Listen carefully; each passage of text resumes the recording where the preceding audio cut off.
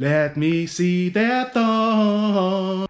Hello, welcome back to another video. Today I'll just give you uh, an update of what's been going on, what's sold, few sales, um, plan for today, um, and a few additions for the shop. I'll start with that. Um, I bought um, a guy off Gumtree. Um, he was selling. Uh, what was it? Three hundred odd, three, about three hundred and fifty CDs for hundred pounds. Now, normally I wouldn't touch it with a barge pole. Not at all. It works out. It was about twenty seven p a, s- uh, a CD, but because I've got bricks and mortar, a shop, I can make money out of that. Um, and it was good stuff. Um, so it was all these boxes, box there, box there, yeah, box down there, um, and it's all sort of um, albums and singles, Dove's, Whitney's Greatest Hits, Sex Express, Miss Dynamite, Prodigy album, Eminem, Placebo. Um, and I'm thinking like in the shop, you know, a quid for a single. I don't think the singles will sell. I, might be surprised. I don't know, but I needed some CDs, and um, just to complement. Really, it's going to be a music shop. I need to have a an array of music. Sinead O'Connor, Spart, no, the Farm, Charlatans, Moby, Jesse, Felix. These are singles. Charlatans. Um, yeah, so it's all relevant. It's all um, sort of nineties. Um, there's no. What's this? Seal, the beach, Rozalla, Saint Etienne, Arrested Development. Not sure. K-Klass. These are singles. There's a mixture of singles and albums, but the albums are good. Um, so I'm pretty um, confident that, you know, even at 50 pence, I'm still going to double my money. Um, and it's just good to have some, you know, selection of CDs, and it's um, it's quality stuff. Um, also, I bought a um, a monitor for um, because I want to have a better computer set, set up at the shop, a faster one because my current laptop is a bit slow. Um, so yeah, that's the new additions there, stock and equipment. Um, I had a return, and this guy really annoyed me. First of all, no contact at all, just leaves a negative. I like, what? Uh, the negative comment said something like cancelled item didn't refund something like that but that was the first time of the guy even i knew there was a, an issue or anything so he, he kind of got off on the bad the wrong foot straight away because now the negatives there i've got nothing to lose as far as i'm concerned the you know so the deal's done yeah he could revise it but the kind of person that I was dealing with, it's not going to happen. He'd send me like four messages about the same thing. Um, so the reason for the return, um, it was item not as described. It was a bread maker. Uh, no, it was forty four ninety nine. Now, in the description, it, it's not in a, a. That's all right. Uh, the outside's not bad either. Uh, in inside, there's marks, and he said it was mold. It's not mold. It's just like staining from cooking bread. it's a bloody bread maker. Um, there was a picture of that. When he got it, he sent me the same picture back and said, "I can't believe you're selling this." I was like, "I can't believe you bought it." the pictures are on the item for you to check the listing um, and make a decision whether you want to buy it or not. The, that customer didn't do that. So I opened a return. Um, so I had to s- upload a, a label and send it. So it's cost me seven pound postage and a forty four pound ninety nine return, which I've refunded. Now it's back. Um, I'll just I'll just I'll just relist it and put in the comments like make sure you read the description and check the pictures. It works. It does what it says it does. It's not mold. It's just um, rust and general usage of a bread maker. I don't know. I've never had a bread maker. Um, so after me having a little, no, I didn't moan. After me saying I had a bad day, I had a twenty pound day. The day I made that video, I had a four hundred pound day. So, it, like I said, it swings and roundabouts. Um, you got to check your average over a month, even three months. Check what your average is. Don't go off your daily because it is up and down. But yeah, three hundred pound. I had a three hundred pound sale. Um, it was Saturday night. I feel the air is getting hot. Now Saturday night. Um, you know when you know when you get a multiple and your phone just goes ka-ching, ka-ching, ka-ching, ka-ching, ka-ching. I was like, what is that? I was expecting it to be records because that happens quite often where people people buy like a stack of records, but no, it was um, Gundam figures. Now I'd never heard of Gundam figures, and uh, it's like a anime Japanese filmy cartoon, but they've they've turned it into figures which you can build yourself. Um, I bought them last year, two hundred and fifty quid and I bought about 30 figures for 250. It worked out to be seven pound a figure, something like that. Um, and a guy bought six figures um, for 300 pound. You know, didn't message for a discount, didn't want, you know, just look, bang, buy them all, have it. So, yeah, really good. Um, I'll put them up. I'll put all six on the screen so you can see what's sold. I mean, one of them was 100 quid when I come to list, when I come to um, packing and wrapping them, because there's there's such tiny little pieces, um, and I've they've been moved from the house to the unit to the shop.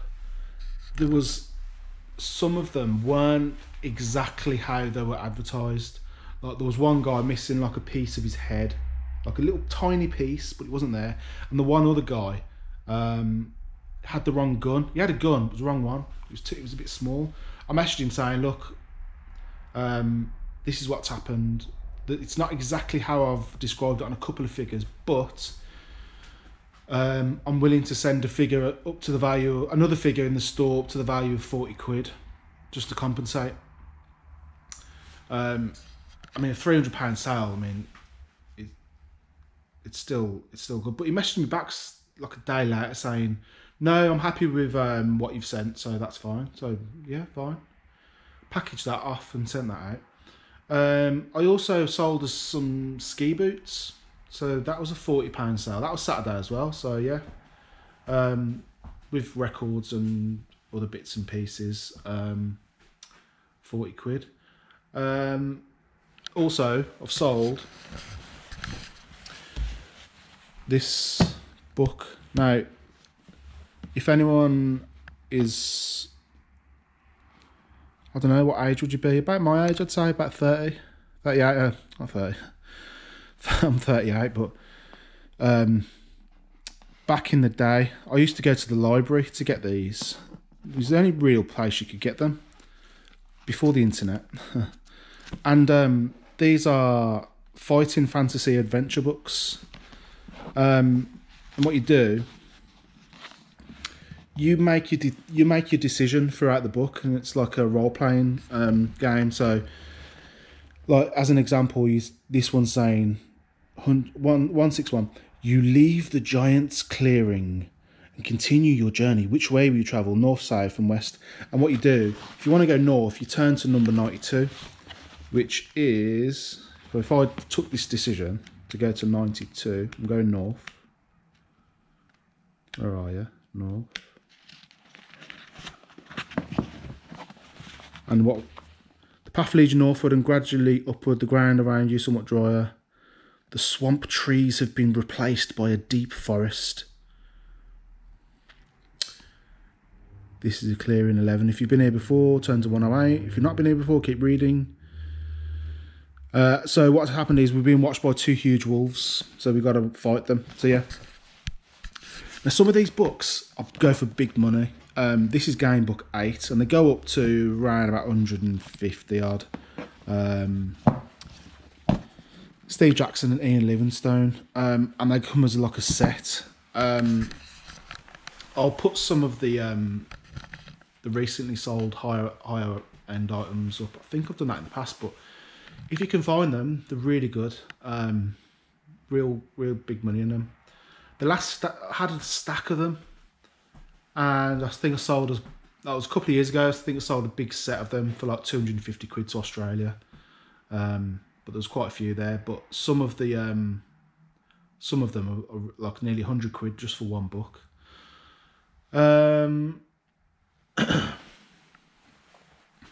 what else? Sold some records. Do you know what this means? See, now I've started this, I can't really stop it. Uh, the first one was uh, Overmaster Rhythm. Um, never heard of it before. But if you want to jump over to my Instagram, I'll put all the records that I've sold. As per usual, this one goes something like.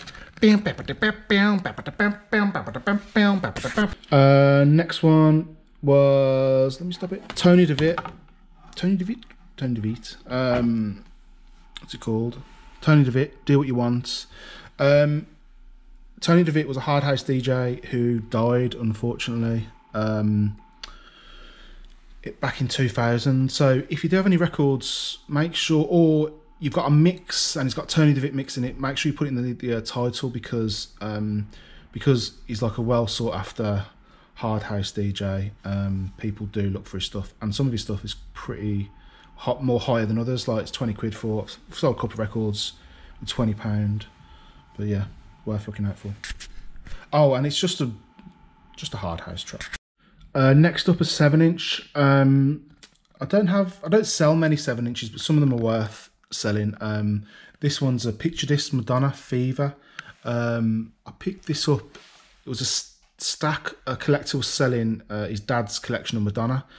Um, it was 130 pound, probably for about 130 records. this is a limited edition. This one, um, one to 1,002. No, 12,300 uh, numbered. This was 20 quid. That record deal that I'd done with a guy, it wasn't. It was only local. Um, last year, it's probably the best record record deal I've done. Um, some of the Madonna stuff is pretty expensive. Um, I've sold a couple of albums for 100 quid a piece. Um, but yeah, this one's Madonna. Fever in the morning, fever all through the day. Um, the last one for today, Sisqó, the Thong Song. Now, I've got a feeling that um, people are watching these videos and buying stuff just so I'll sing it. Um, this is I've had this for a couple of years. You've got to know what the thong song sounds like.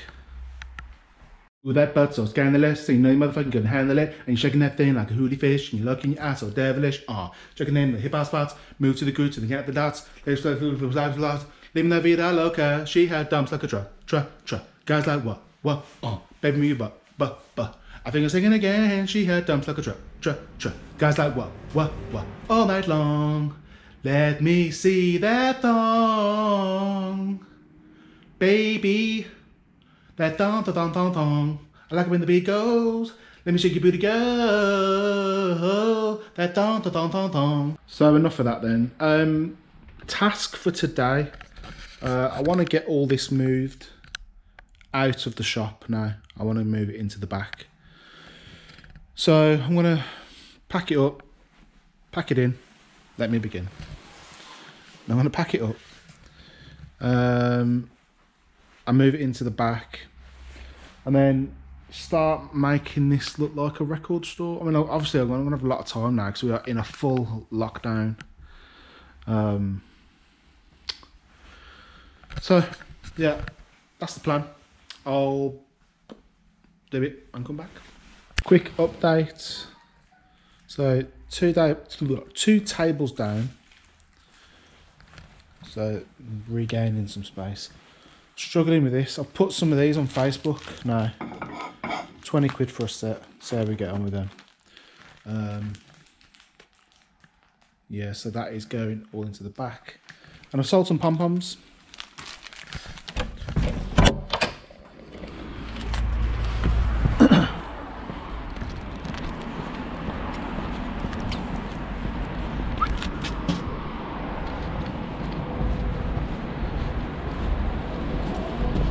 And I've sent some pom-poms. Right, I'm done for the day. Two tables down, condensed. And I'll show you what the back looks like. Cleared the back up a little bit.